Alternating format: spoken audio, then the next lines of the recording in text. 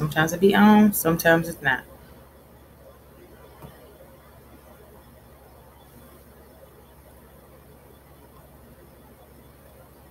Okay. Just bear with us. Well, we're gonna edit that part out, but I'm just trying to figure out why it's not. So we gotta do some. Why we gotta do all that? Why? We are back. We are back with another episode of Reel and Chill, where we provide commentary and reviews of TV shows and films written, directed, and starring people of color. What are you laughing for? Oh, I am Phette Hollins. And I am the one and only, well, Enrico Williams Sr. Oh my god. Because oh, I was going to be one of them, but I'm not. and this week we are reviewing the Breaker Upperers. Breaker Upper. The Breaker Upperers that came out in 2018. This movie was hella funny. It is written, directed, and it stars Madeline Sa- oh, Sami. I think it's Madeline. Maybe Madeline, but Madeleine Sami and Jackie Van Beek. They wrote, directed, and starred in it. hmm They're just like they're like an Amy Poehler and Tina Fey. A New Zealand way. New Zealand style. And they were also nominated by South by Southwest Film Festival in 2018 for the Game Changer Award. This movie was funny, y'all. Like, really funny.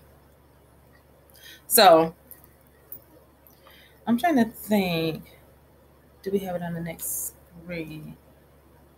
What was that going into? well, okay. the No. synopsis. You, re- you got the synopsis? No, I no. the synopsis. I just got that, you know. You okay, the, the synopsis is for the right price. Best friends, Jen, played by Jackie Van Bleek, and Mel, played by Madeline uh, Salami. Salami? What? Simon? First, let's start over. Was It's Jackie Van Beek again, and syllables to people and letters to people's names, and it's just Madeline Madeleine Sami. Sammy was ruthless. He would butcher everybody's name. Listen, I was surprised. You have to tell a story about how I was like, if you knew my name when we first started talking, like he would butcher names. Okay, that's just a sidebar. Whew. And she complained that I take too long. It's But back to the synopsis. Yep. Uh, Mel and Jen basically they are running a business, or as they say, dubbed as a ruthless business of helping ending ro- romances. So, um, and then in the event of this, one of them grows a conscious about what are they doing. So this again, we talked about it. This this film took place in New Zealand, so it have a um a New Zealand vibe, a accent, and you know, far as um is centered around that. So you have to kind of understand where they're coming from. So that's why I like to tell talk about movies where it's filmed at and how it's where's the setting at, so you can get that vibe of um of where the, the actors and directors are coming from. So they give you a little taste of Zealand. So um, uh, I have some facts with that too. So because it's associated with the movie.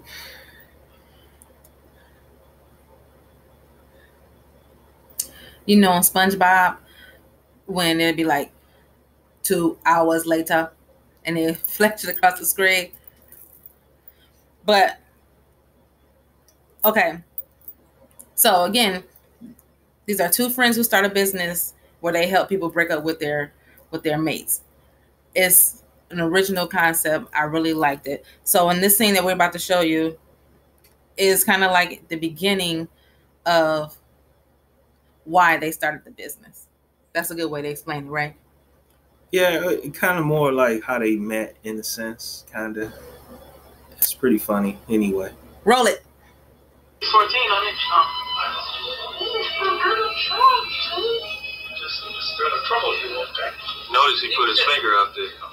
Right. And he acting like they cool, like buddies. Clear sign he don't want to be with her. Exactly. Clear sign. What's that? That show or that book or something? Um, he's just not that into you. Oh, I never saw that movie. I know what you're talking about. Wait, what? he was just the birthday kid from the rivals. Man, he played it on. He ain't shit. What? That's Mel. That's what I said. Sex bag. That's what she called him. So, okay, so this gotta be showing. they was about to get it in right there. Amen.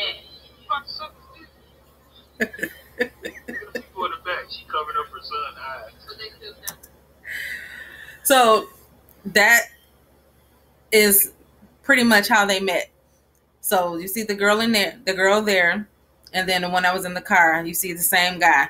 So pretty much he was dating both of them. They didn't know each other at the time, but you know, to heal and get over the whole little breakup, they decided to form this company, and they've been friends since then. So I just thought that was kind of, I mean, that was a, a unique way, a unique way to show how they met and they became friends after this, even though they were dating the same guy. But they didn't know that they were dating the same guy.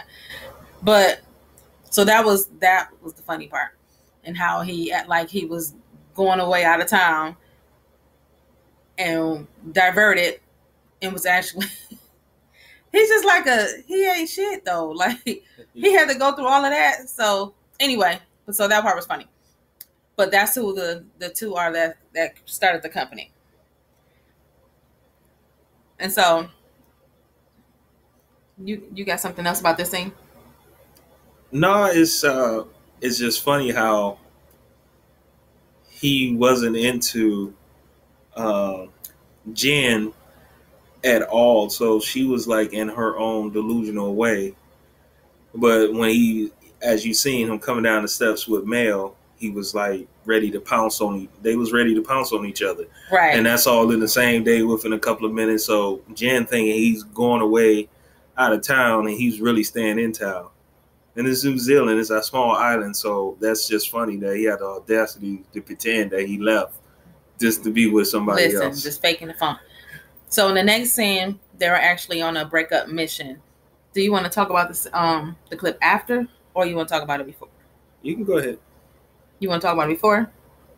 No, you can go ahead and it up. So in this clip, again, they're on a mission, and it's Mel, which is Mel is right there, that's on the screen, and she's helping this guy named Jordan who comes to them to break up with his quote unquote. He calls her a delicate flower of a delicate flower of a girlfriend. He says that he's tried several times through emojis to break up with her.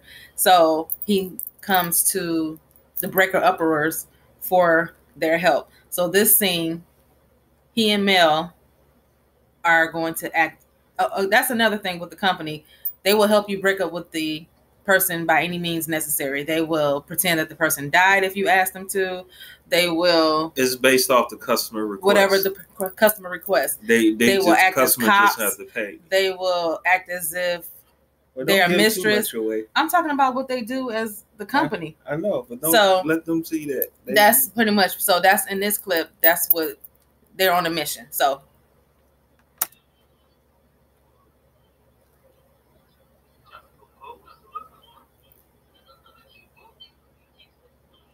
Look at they folks in the back. Andy Cameron, I ain't hear that. long that's the delicate flower. White girl. They look the same color though. All I of them. know. She's still shot. Right. Smack his neck. It's going bad.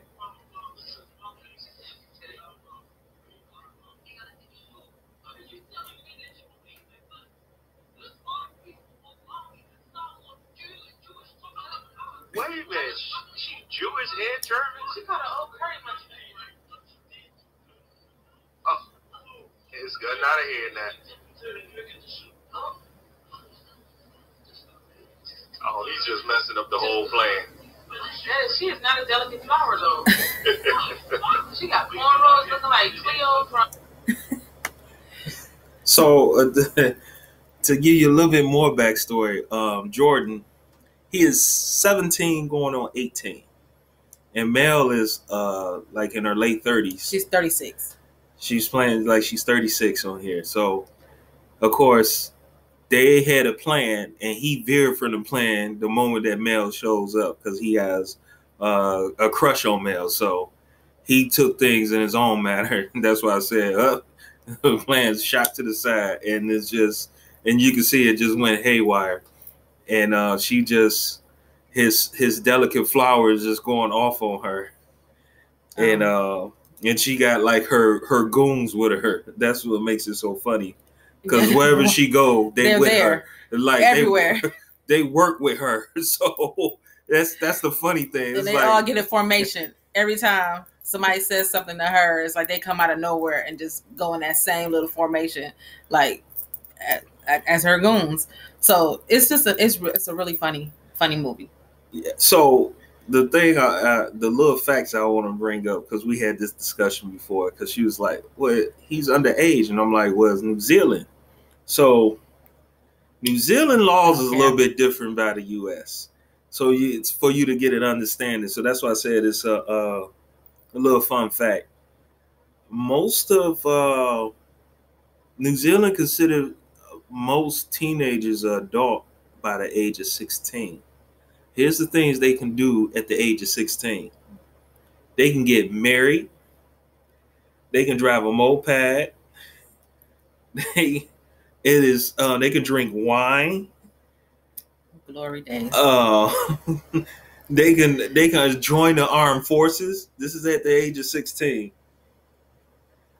um, buy lottery tickets. I can't. you know so it is it's different. It's i i, I think the laws changed just recently but to give you the, the, the synopsis so it's not like it's a pedophile type thing or Which is A which is statutory what I think it is because that's I'm not I wasn't fe- feeling that part of it. The fact that yeah he can have a crush that's cute, but um to entertain it anyway like she's legit grown and they you know they make little jokes and all that throughout the um throughout the movie about you know her gray hair and all that kind of stuff. So I just wasn't jiving with that part with him being 17 and her being 36 and it being okay for them to be together. That's all. But yeah, so he felt it necessary to look up the facts, and I still don't even care. it's a different About country I still don't care. If, even if they made it legal here in Michigan, different strokes different strokes so you'll let your 17 year old talk to a 36 year old if they If change the law? if they grew up over there I'm talking about here. If they change the laws here, you would not. it's a custom thing So- it's like In the last scene, you said it's the who thing? it's A it's customer thing. i said it's customs of things Oh, customs. Okay. Um. So the last scene is the one of the funniest scenes in the whole movie, and but it's also included in the trailer, just to give you an idea of what they um their personality and what they do. Set Don't, don't fuck the client. Right. STIs. Yes. It's easy. You know that, right? Uh, Tell me you knew that. he looking like, what the fuck? A breakup telegram? He still can't get a word in. He's still shocked. so it's it's, it's a funny. telegram, right? A, a breakup telegram. Yeah, it's funny on that because the guy's expression, like, he just shocked. Like, why is you singing? Who are you? And what do you mean, Cherie don't want to be with me no more? And uh, it's just Cherie But- be with you no more. the one thing I did find out is the scene. This is one of her scenes that she's singing, but it's another scene she's singing, and I'm like, hey, telling Phette like she can sing. So I did a little background digging, and I'm like, oh, she is a singer. She's a singer. She is a singer and she is a comedian. Both of them comedians. So, eh, so this probably came natural to them, and uh, and I'm like, she can really sing, and uh, it's a it's a funny scene. Another thing, we don't want to give away the movie, but she talked about Celine Dion. That's her favorite singer. So I wanted to include that clip. He just like, no. I don't wanna give It was away two so- clips I wanted to include. you don't want to give away too much funny stuff and the, the good stuff. So these are just little, you know, little samples of this movie. I think it's a very fun movie to watch. Uh, um, It's yeah, on Netflix. It's on Netflix.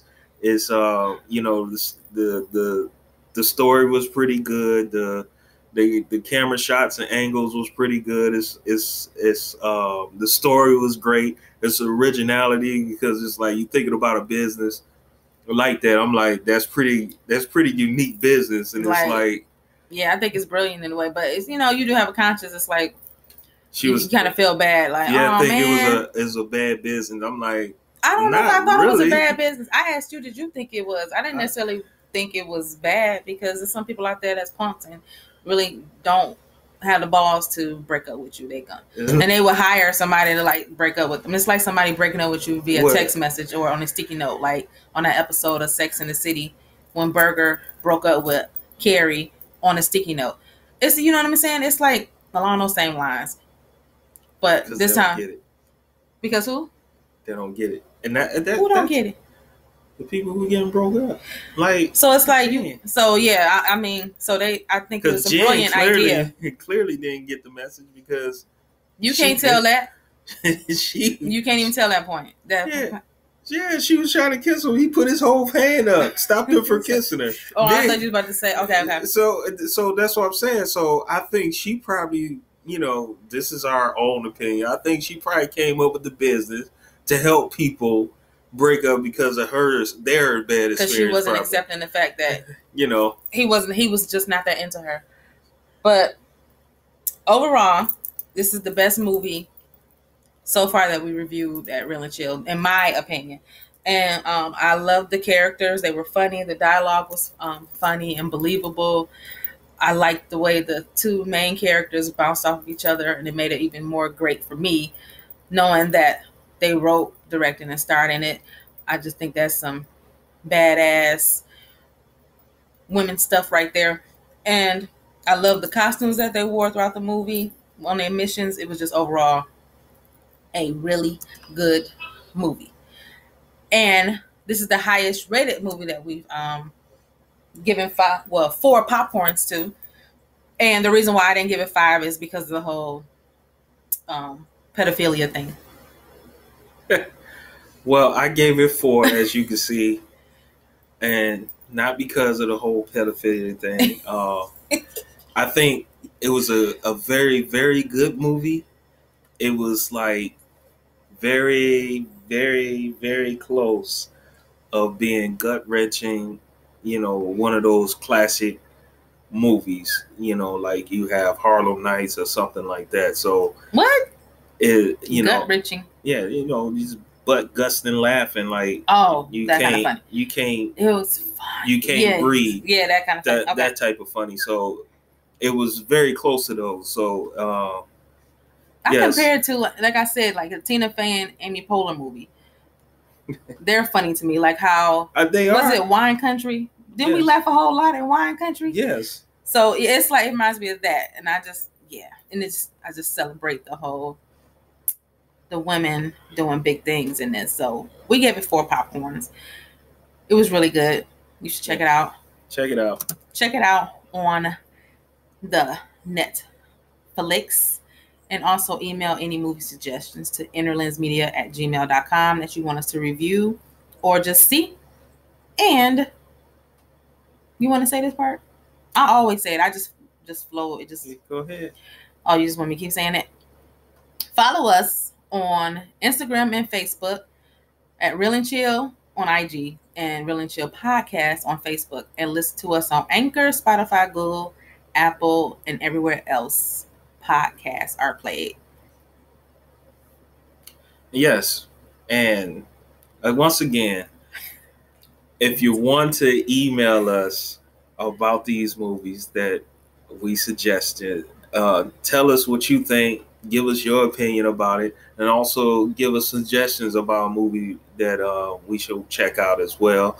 And um, you know, sh- directors and um, actors, you got a movie that you're getting ready to screen, you want us to look at it, you know, contact us as well on um, interlensmedia.com. So, um, interlandsmedia at gmail.com. Gmail.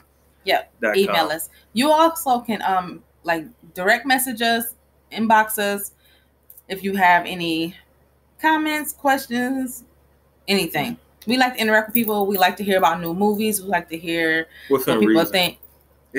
What on the movies? Yeah, don't be in China talking about, hey, I got this movie Exactly. to out. Like, Listen, yeah, it's two in the morning right now. Right.